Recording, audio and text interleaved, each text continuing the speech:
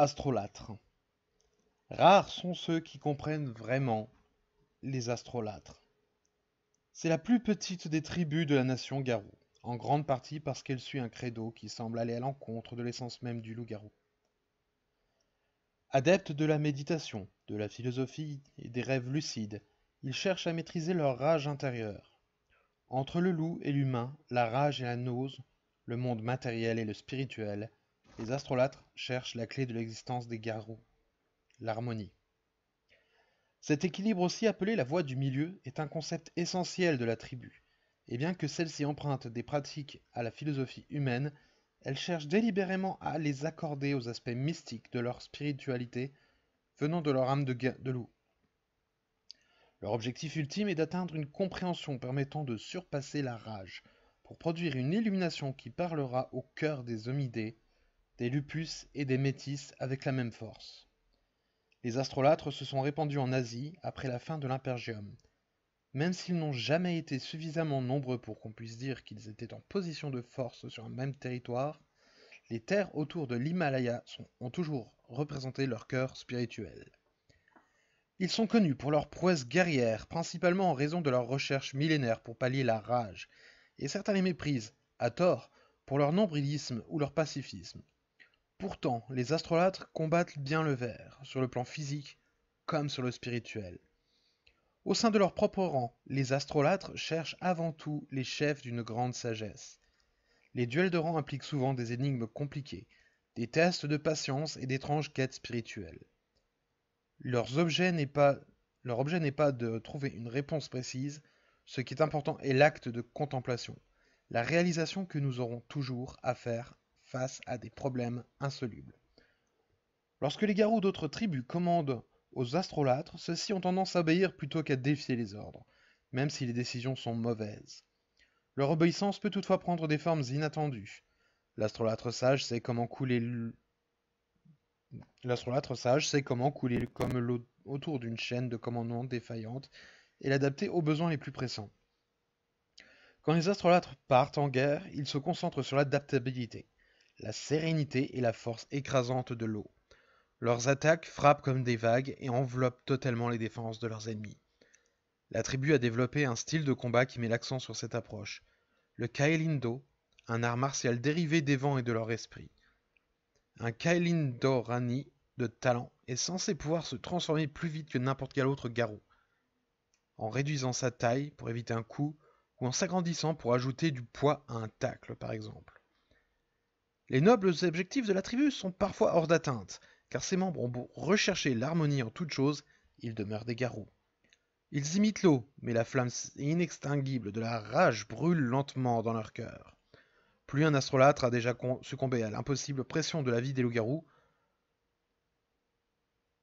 parfois même le plus fin roseau finit par plier jusqu'à se rompre. La fin des temps approche, et les astrolâtres sont de moins en moins nombreux. La guerre constante contre le ver a fait des ravages dans leur rang, et ils se reproduisent lentement. Il leur reste peu de meutes de loups, peu de métis naissent dans leur tribu en raison de la considération du désir, mais c'est également le cas pour les homidés. Le monde est un labyrinthe d'illusions, toujours plus dangereux. Les astrolâtres doivent partir en guerre avant d'avoir atteint la perfection, avant d'être prêts, mais ils ont toujours su qu'il était impossible d'être préparé à tout. La guerre se livre aujourd'hui, alors élèvent-ils leur voix aux quatre vents et se déplacent-ils comme un fleuve? Apparence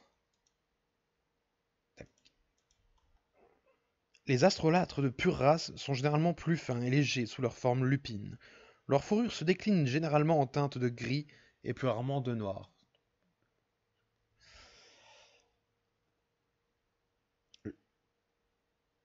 Et plus rarement de noir avec des rayures ou des bringures légères chez certains individus.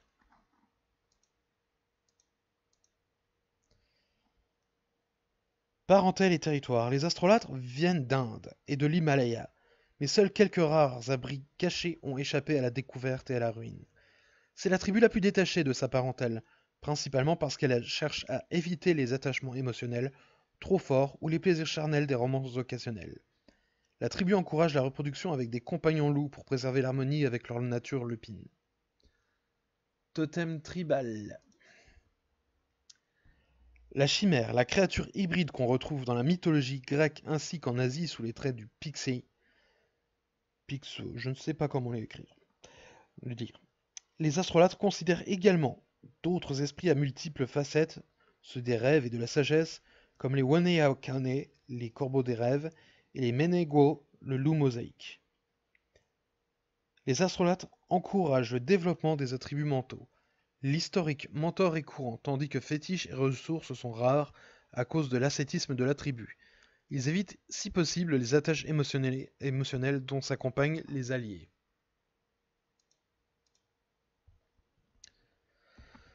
Stéréotype ce qu'ils pensent des autres. Arpenteur silencieux. Leur sort est effrayant. Ils ont renoncé à tant de choses, et pourtant ils n'arrivent pas à échapper aux fantômes qui les pourchassent. Gros d'argent. Les lignées, le pouvoir temporel. Ils sont enracinés dans le monde matériel depuis l'éternité. Regardez-les et apprenez. Enfants de Gaïa. Ce sont des gens bien. Je respecte la sagesse de leur tentative pour transcender la rage, même si elle est mariée à un attachement profond au monde. Fiana. Ce sont de grands rêveurs. Mais ils aiment beaucoup trop leurs émotions pour apprendre à les maîtriser. Fils de Fenris. On pourrait penser qu'ils sont tout ce que nous cherchons à éviter. Mais ils sont d'une lucidité surprenante, bien que sanguinaire. Furie noire. Leur credo semble simple, mais il est très riche. La sororité, la maternité, la vengeance, le mysticisme, le chaos. Leur rage recèle de nombreux trésors. Griffe rouge. Leur instinct lupin est incomparable, mais il est noyé sous une haine que seuls les humains savent imiter marcheurs sur le verre. Leur capacité à percevoir le monde réel est si nettement et admirable. Mais perçoivent-ils autre chose? Rongeurs d'os. De nombreux mendiants ont tout abandonné pour ne rien posséder et tout gagner. Les rongeurs d'os sont les mieux placés pour comprendre cela. Ce ne sont pas des imbéciles. Seigneurs de l'ombre. Ils se définissent par leurs désirs et non par leurs besoins. Cela ouvre leur cœur aux mauvaises personnes, Uktena. Ils portent un fardeau qui semble impossible à supporter. J'espère que leur sagesse et leur détermination sont aussi puissantes qu'il y paraît. Wendigo. Ils devraient suivre l'eau et non la glace.